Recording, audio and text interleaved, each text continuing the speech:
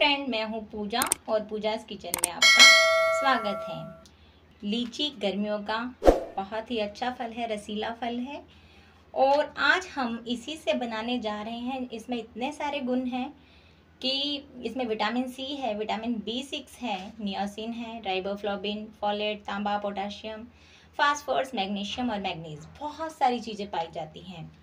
और ये हमारी सेहत में फिगर का भी ध्यान रखता है। इसमें एक घुलनशील फाइबर होता है, जो कि मोटापे को कम करने के लिए सहायक होता है।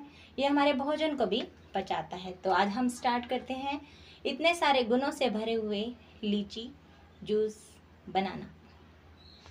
फ्रेंड ये हमने कुछ लीची ली हैं और इनके हम छिलके हटाते हैं और इनका पल्प निकालते हैं। लीची को छील के और चक्कू की सहायता से इसका पल्प निकाल लेंगे और हम बीज को अलग कर देंगे।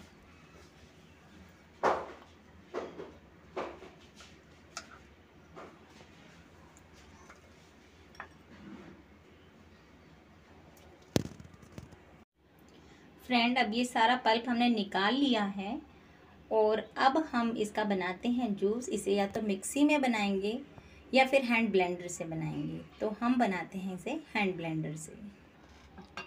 इसे हम डाल देते हैं छोटे से किसी भी बर्तन में डाल लेंगे, जिसमें हमें जूस बनाना है, क्योंकि मैं हैंड ब्लेंडर से बना रही हूँ। इसमें छोटा सा टुकड़ा हम अदरक का डाल लेंगे। अगर आपको अदरक पसंद है तो आप डाल सकते हैं, और अगर इसे अवॉइड करना चाहें तो अवॉइड भी कर सकते हैं।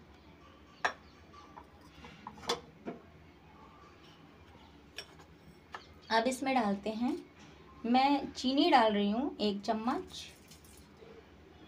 अगर आप ये, क्योंकि वेट लॉस के लिए भी इसका जूस बन सकता है लीची का तो हम अगर वेट लॉस के लिए बना रहे हैं तो हम हनी का यूज़ भी कर सकते हैं।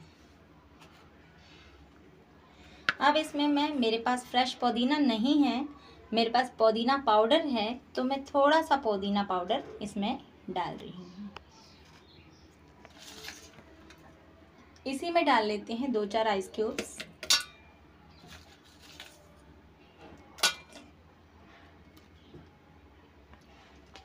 पानी फ्रेंड अब इसमें हम पानी डालेंगे. मैंने हाफ़ ग्लास के करीब पानी लिया है, जो इसमें डाल रही हूँ मैं. आप पानी की मात्रा जैसा आपको पीना है, वैसा, वैसी कर सकते हैं, इसमें बढ़ा भी सकते हैं पानी की मात्रा. और अब हम इसे ब्लेंड करते हैं.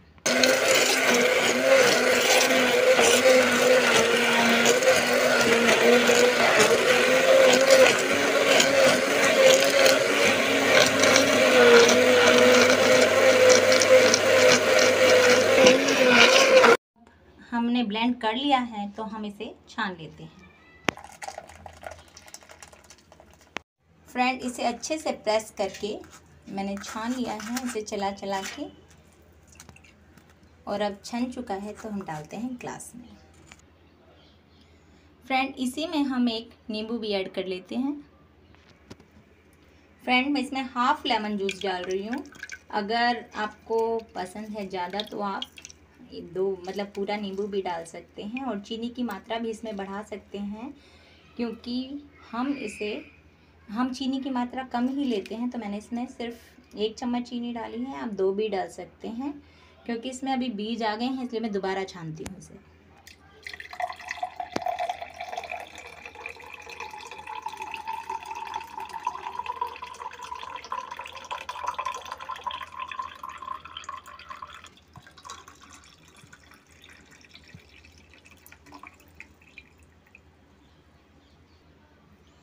तो फ्रेंड, तैयार है अब ये हमारा लीची जूस, जो कि बहुत ही अच्छा लगता है।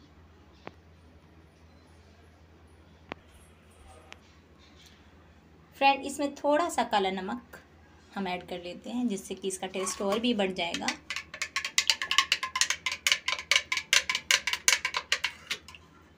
तो अब तैयार है हमारा लीची जूस, और इसे और ठंडा करने के लिए हम आइस क्यूब्स मिला सकते हैं। तो फ्रेंड बहुत सारे गुणों से युक्त लीची का अब बिल्कुल जूस तैयार है।